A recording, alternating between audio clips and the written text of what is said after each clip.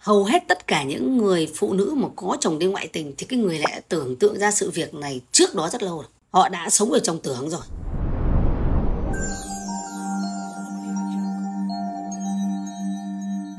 Em thấy hơi kỳ. Đấy, ngay cả cái ý mà chúng ta đang sống ở đây này, đang nhìn rõ đây này, mà còn chưa phải sự thật đây này. Bởi vì sao? Thằng tưởng nó đã phát triển cùng các bạn rồi. Thằng tưởng đã chui vào cùng các bạn đấy. Bởi vì khi nào ý mà nhìn thấy chân thật, sự thật thì đấy mới gọi là cái ý thức đang tỉnh.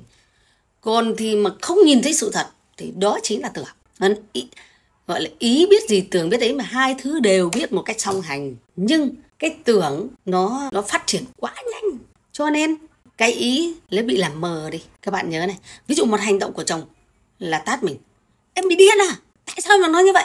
Thì cái tưởng của chúng ta sẽ phát triển trước. Là tưởng tượng ra cái người này không còn thương mình nữa không còn yêu mình nữa cho nên anh ta mới tát mình và chửi mình. Nhưng cái ý lúc đó là cái thằng nào đi trước cái thằng cầm cờ là thằng thắng.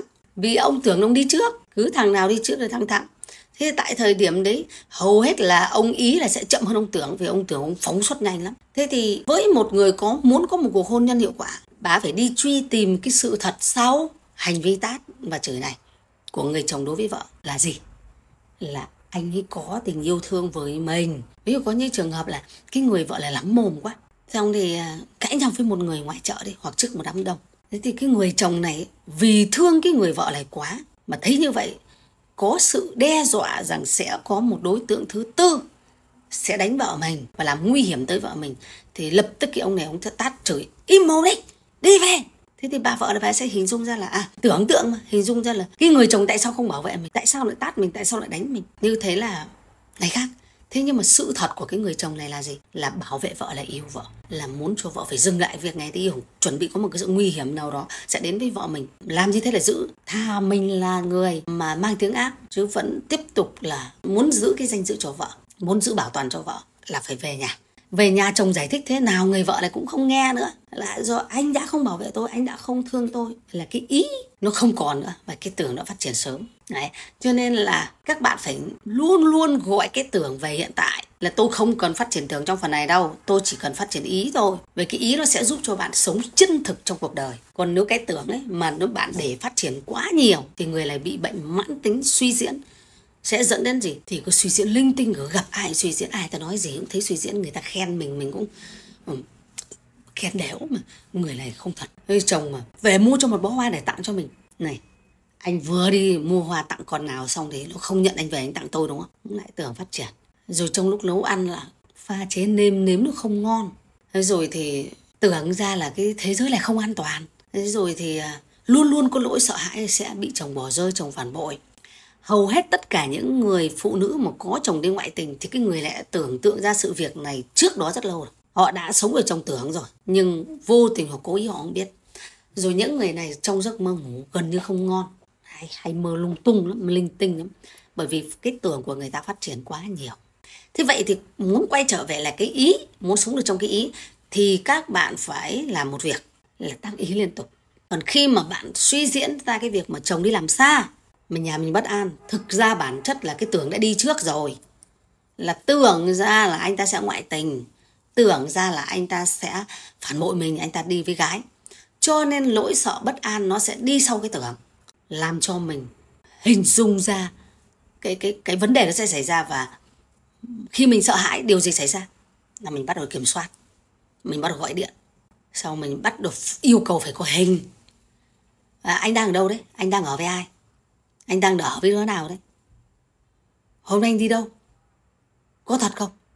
Thế thì khi mình cứ liên tục nói như vậy thì người đàn ông sẽ nói là em không tin anh à? Thế rồi dần dần người ta sẽ sợ cái cuộc nói chuyện của mình. Rồi người ta nói với mình là à, sao em cứ nghĩ linh tinh chứ em cứ nói linh tinh thế nhỉ? Thế ban đầu người ta chưa ngoại tình thật đâu. Nhưng mà bạn đang mở đường cho hiu chạy mất rồi. Và bạn đang phát ra một loại sóng từ trường của nỗi sợ đan thì điều gì xảy ra? Khi trong nhân quả nó sẽ tiếp nhận những cái năng lượng từ trường của bạn phát ra trên hai phần ý và tưởng. Bạn sống ở trong tưởng hay bạn sống ở trong ý, ở trạng thái nào trong tham sân si thì lập tức nó sẽ, cơ thể chúng ta một trường năng lượng mà. Cơ thể chúng ta là một thể năng lượng, là một tiểu vũ trụ ấy chứ. Nó đều có đất nước gió lửa hết. Đều có canxi, sắt, mare, đồng, các thể loại trong cơ thể chúng ta là một cơ thể sống. Thì vũ trụ, cái cái trái đất này cũng chúng ta của chúng ta cũng là một cơ thể sống.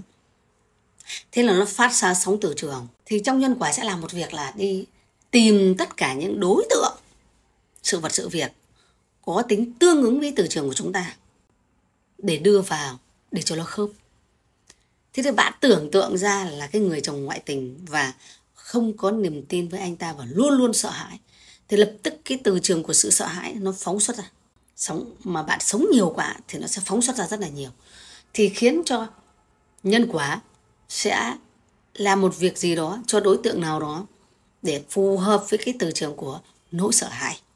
Thế cuối cùng là anh ta ngoại tình thật thì có phải làm cho mình rất sợ hãi không? Cho nên các bạn phải ngừng nghĩ ngay cả khi nó là sự thật.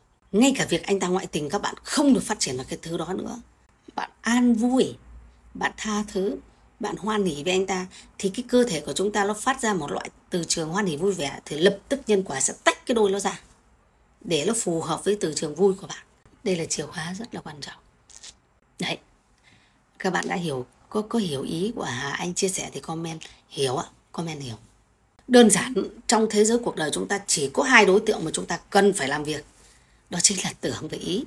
Thì Đức Phật mới nói rằng kẻ thù lớn nhất của đời người đó chính là chính mình mà các bạn đưa cái ý hay cái tưởng của mình vào đâu thì các bạn sẽ trở thành như vậy. Nếu các bạn đưa về cái thuận thì cuộc đời mình thuận, đưa về cái nghịch thì cuộc đời mình nghịch. Khi mà có cái người chồng, nghĩa là bước ra khỏi nhà rồi, thì hầu hết tất cả những người phụ nữ họ sẽ phát triển tưởng trước khi anh ta hành động cơ. Cứ ra khỏi nhà, chuẩn bị ra khỏi nhà hoặc đứng trước gương là mình đã nghĩ đến chuyện là mặc đẹp như thế để đi gặp con nào. Tưởng phát triển trước chưa? Tưởng đã phát triển trước đó. Cứ nhìn đứng trước gương cái là à, anh đi đâu? Anh đi với con nào bất an lo lắng sợ hãi lắm. Ông ấy ra một lúc là anh đến nơi chưa? Xong cái căn giờ bắt đầu gọi điện gọi hình để làm sao mà anh anh anh anh, anh tham đi. Xem có những ai. Có rồi mà vẫn không tin nha. Mình lại nghĩ trong đầu anh phải lia hết đi chứ.